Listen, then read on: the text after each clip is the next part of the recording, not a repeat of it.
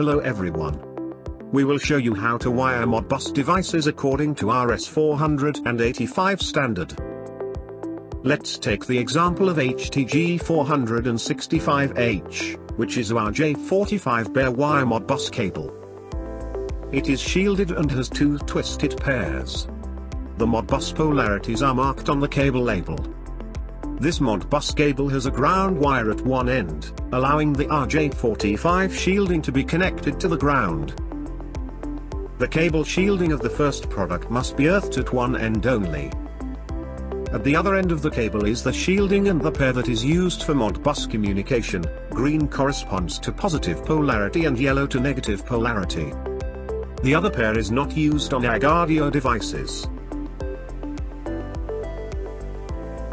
Firstly, RJ45 Modbus connector is plugged on the first device, Agardio Manager server, using the previous cable. The bus has a chain, or line topology. It should not be connected in branches or stars. This may corrupt the data. Then, the twisted pair is connected to the next product, ensuring continuity of the bus with the next bus section.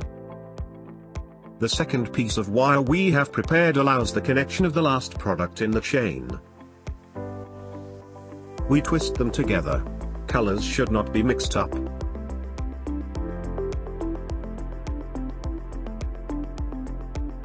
Let's make the connection. The green cable is on the plus terminal, and the yellow one on the minus terminal. We will do the same on terminal 0, which ensures the continuity of the shielding.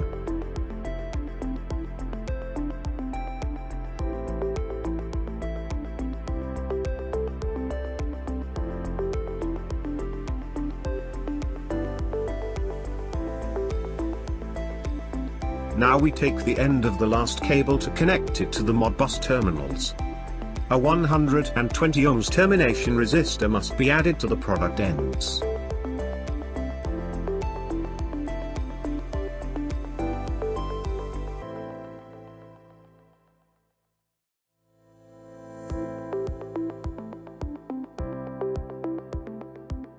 It is already integrated on the first product using the switch on the front panel.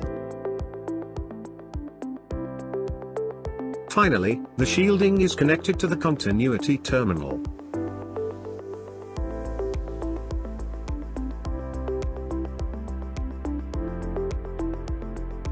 Modbus wiring is now complete.